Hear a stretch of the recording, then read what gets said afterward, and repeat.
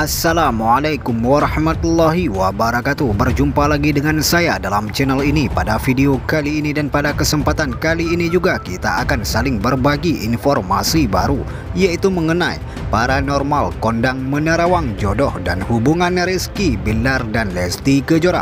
Bagaimana hasil penerawangan yang dilakukan oleh paranormal paling terkenal di Indonesia itu? Mari simak video ini sampai habis Sebelum kalian lanjutkan video ini, jangan lupa untuk mendukung channel ini dengan cara subscribe, like, share, dan tekan tombol loncengnya. Jangan lupa juga untuk berikan kritikan dan masukan melalui komentar di bawah video ini. Mbak Yu mencoba menerawang jodoh Lesti Kejora di masa depan. Diketahui Lesti Kejora ditinggal kekasihnya menikah setelah pacaran selama empat tahun lamanya.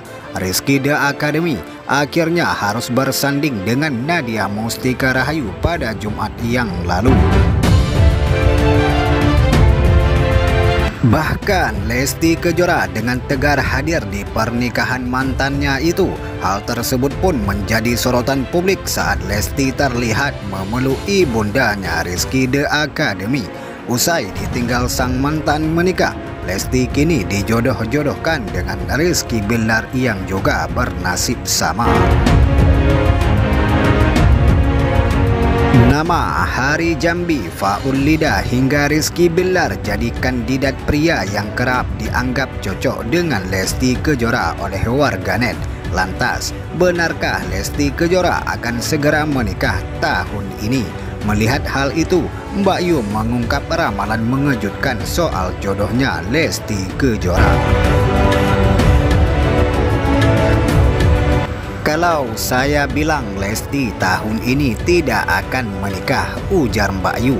Mbak Yu juga mengungkapkan kalau jalan Lesti Kejora untuk menuju ke pelaminan bersama jodohnya masih sangat panjang. Dia mungkin masih agak lama sambung Mbak Yu. Paranormal kondang ini menyebutkan ada hal yang harus dipulihkan dari hati Lesti Kejora karena dia masih agak tidak nyaman dengan perasaannya dan itu harus mengorbankan perasaannya, harus mengikhlaskan perasaannya karena sebenarnya masih sayang dan takdir juga dan karena keinginan orang tuanya, jelas Mbak Yu. Dengan begitu dikatakan Bayu agar Lesti harus menghadapi semuanya dengan bijaksana. Bagaimana Lesti menyikapi semuanya dengan bijak dan harus mengikhlaskan semua orang yang harus dia cintai.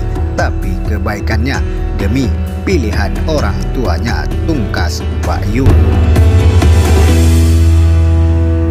Itu saja informasi yang bisa kami sampaikan kepada kalian semua mengenai ramalan jodohnya Lesti Kejora. Jika ada kesalahan kami minta maaf. Kami akhiri. Assalamualaikum warahmatullahi wabarakatuh.